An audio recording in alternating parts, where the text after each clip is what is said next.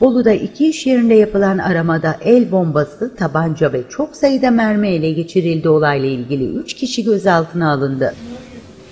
İl Emniyet Müdürlüğü Kaçakçılık ve Organize Suçlarla Mücadele Şubesi ekipleri tarafından Gölyüzü Mahallesi'nde bulunan iki büfeye eş zamanlı baskın yapıldı.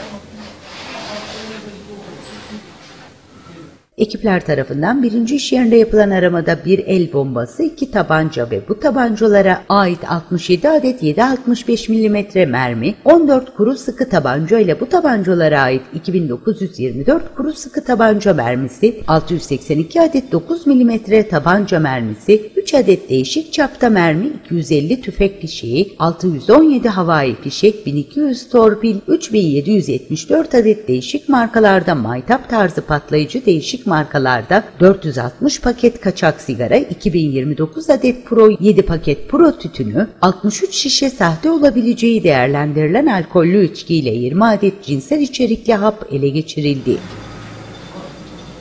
Aynı mahallede ikinci iş yerinde yapılan aramada ise 29 adet kaçak veya sahte olduğu değerlendirilen alkollü içkiye el konuldu. Operasyonlarla ilgili 3 kişi gözaltına alındı.